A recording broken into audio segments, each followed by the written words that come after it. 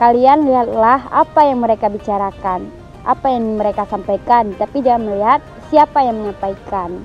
Buat kalian, jangan pernah menghina orang kamu tidak cocok bercadar. Itu topeng kamu topengmu aja itu. Topengmu aja itu. Berarti kamu telah menghina Rasulullah. Apa tuh cadar ini ini itu ninja bla bla bla bla bla bla bla apa berhijab? Hijabin hati dulu lah baru berhijab Umi ini bukan merasa yang paling baik. Umi tidak pernah merasa diri Umi itu orang yang baik.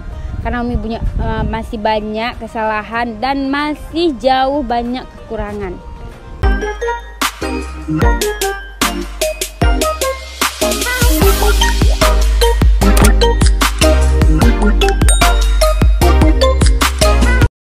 Assalamualaikum sahabat-sahabat Umi dan Ais. Jadi Umi hari ini lagi duduk-duduk tunggu buka puasa alias ngabuburit ya kan? Umi suka duduk sini karena suasananya adem, tentram dan bikin tenang dan nyaman juga jadi Umi lagi baca-baca Al-Quran nih. Doain Umi khatam ya bulan puasa ini. Karena bulan puasa kemarin Umi gak khatam. Karena baru siap melahirkan gitu. Doain Umi khatam setidaknya satu kali khatam aja Alhamdulillah ya kan. Orang Umi lagi ada baby gitu. Ini adalah lokasi Umi sering duduk sini Sering adem, sering tenangkan pikiran. Tempatnya adem, inilah pemandangannya karena ini agak mendung. Ini dia. Jadi Umi lagi baca surah Al-Mu'minun. Ini surah kesukaan Umi. Jadi pas Umi teringat kemarin tuh Pas di pondok Umi ikut ujian Umi pilih surah Al-Mu'minun. Umi ingin sampein ke kalian Jangan lihat siapa yang nyampein. Tapi lihatlah apa yang disampaikan Jangan kalian nanti jika ada seseorang dia pernah berbuat salah tetapi menyampaikan suatu kebaikan tapi malah kalian celah gitu. Masa ngomong gitu? Kamu kamu ini bla bla bla bla lah ya kan? Jika seseorang itu pernah buat salah lalu dia menyampaikan suatu kebaikan tapi malah kalian celah itu tidak benar gitu. Jadi Nabi pernah bilang kalian lihatlah apa yang mereka bicarakan apa yang mereka sampaikan tapi jangan melihat siapa yang menyampaikan. Walaupun dia anak kecil, orang besar, orang mabuk, orang ini, tapi dia kalau menyampaikan satu alif aja mengajarimu atau satu kebaikan untuk umat itu adalah gurumu. Ya seperti itu. Dan banyak juga sih yang bilang gini, rugi kamu bercadar, rugi kamu menutup auratmu, rugi kamu ah bla bla bla sedangkan kamu gini gini gini gini. Sedangkan kamu gitu gitu gitu. Sedangkan kamu tidak begini tidak begitu. Nah Umi juga mau kasih tahu penjelasan atau opini atau fakta-fakta tentang orang bercadar ya. Ada sedikit atau malahan banyak orang yang mengira orang bercadar tuh harus bersikap 100% bagus nggak ada salah. Itu salah besar. Karena orang bercadar tuh kan juga manusia gitu. Dia punya kesalahan dan dia punya karakter, dia punya prinsip. Mungkin di lingkungan dia itu prinsip dia tuh tidak sesuai, makanya dia dibilang, "Kamu masa percaya kamu masa gitu? Kamu percaya kamu masa gitu?" Malah dia dituntut untuk berprinsip seperti yang dia pengen gitu. Itu salah. Misal orang bilang rugi bercadar kalau kamu gini, rugi bercadar enggak, kalian tuh salah besar mereka tidak rugi. Setidaknya mereka bisa melakukan satu kesalahan. Mereka tidak melakukan dua kesalahan. Karena apa dua kesalahan ini? Dia menutup auratnya. Misal mereka melakukan dua dosa, satu dosa tidak menutup aurat, satu dosa membicarakan orang lain atau suatu dosa kesalahan. Misal orang bercadar ini melakukan satu kesalahan, tapi dia mendapatkan dosa buat kesalahannya aja. Dia tidak mendapatkan dosa dalam menutup auratnya dan orang ini orang yang menuntut seseorang ini kamu harus gini loh kamu kan bercadar masa kamu gitu sih gitu. Dia itu mengkomen atau membicarakan orang lain. Itu dia udah berbuat satu kesalahan.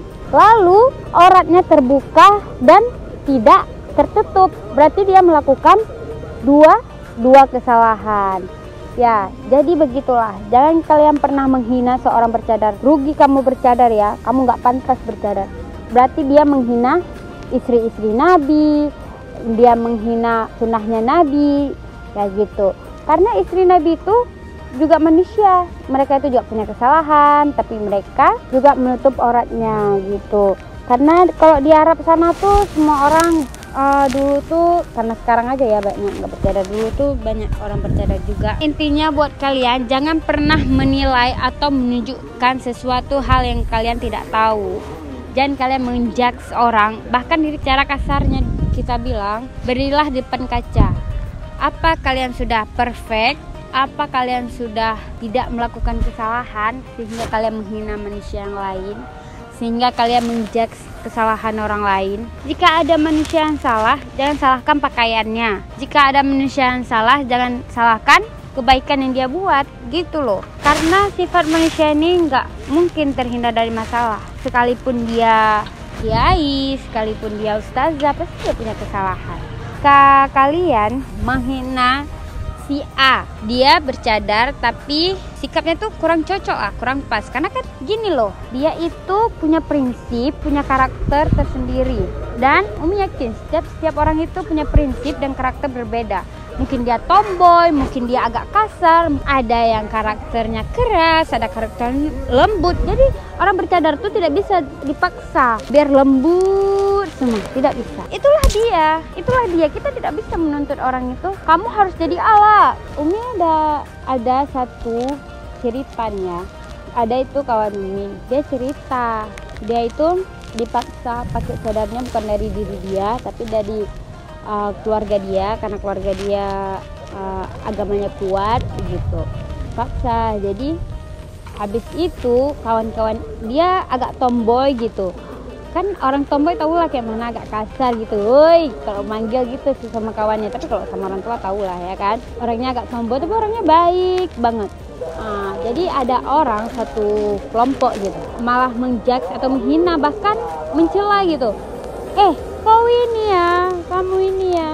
Masa bercadar uh, kelakuanmu kayak gini gini gini gini gini. Habis itu ada guru kami ustazah kami menasehatin gitu. Umi ingat kali itu tidak ada manusia yang sempurna sekalipun pakaiannya sudah sempurna tetapi setidaknya dia sudah sempurna dalam menutupi pakaiannya jadi orang yang ingin orang sempurna sempurnakan dulu dirinya sendiri jadi seperti itu. Buat kalian jangan pernah menghina orang.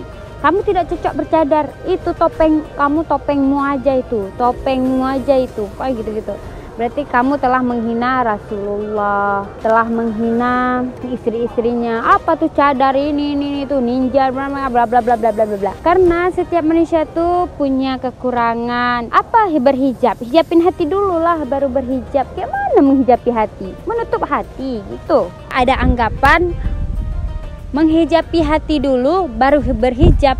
Ingat ya, berhijab itu wajib nanti aja lah nanti aja lah nanti aja nanti aja. Nah, tidak. Wajib. Kalau wajib itu kalian tahu kan wajib itu kayak mana harus harus kita berbuat. Mau tidak mau harus. Berhijab ya. Berhijab. Menutupi aurat. Bukan membungkus aurat. Menutupi aurat. Jadi buat kalian jika ingin menghijabi hati berarti kalian ingin menutupi hati kalian dulu. Baru kalian berhijab. Mana bisa setelah hati kita tertutup kita akan berhijab. Kalian mau tidak mau harus berhijab karena itu wajib. Umi ini bukan merasa yang paling baik. Umi tidak pernah merasa diri Umi itu orang yang baik karena Umi punya uh, masih banyak kesalahan dan masih jauh banyak kekurangan gitu jadi Umi hanya menyampaikan hal yang sepatah dua patah yang Umi tahu gitu. Karena Nabi pernah bilang, sampaikanlah walaupun sepatah kata ilmu kita tahu gitu. Jadi Umi heran juga sih sama-sama orang-orang gitu. Jadi kita doakan aja supaya mereka dapat hidayah, bisa mengintrospeksi dan menambah lagi ilmunya. Jadi kita nggak bisa mengukur ilmu seseorang itu segini segini segini segini segini nggak bisa. Karena kita nggak tahu ilmu seseorang tuh semana ya gitu. Karena ilmu itu luas. Nah udah cukup ya kita bahas masalah cadar menyadar. Mohon maaf kalau Umi ada salah kata salah perbuatan. Umi hanya ingin menyampaikan apa yang Umi tahu karena itu kewajiban Umi. Dan Umi ngulang sekali lagi jangan pernah melihat siapa yang menyampaikan tapi lihatlah apa yang disampaikan. Dan ingat jangan pernah menjat pakaian orang lain dan menjatuhkan mental dan menghina pakaian orang lain. Ingat apalagi menghina orang bercadar kalau kalian mau kasih masukan atau menasihatinya, nasihatilah dengan baik. Jangan pernah mengejas itu topeng rugi kamu bertopeng gini hanya topeng gini itu itu salah, itu sangat salah. Ingat ya, jangan bilang kamu tidak sesuai perbuatanmu dengan pakaianmu itu salah. Itulah yang Umi ingin sampaikan tadi. Ambil baiknya, buang buruknya ya. Sekian dari Umi. Wabillahi taufiq wal hidayah. Assalamualaikum warahmatullahi wabarakatuh.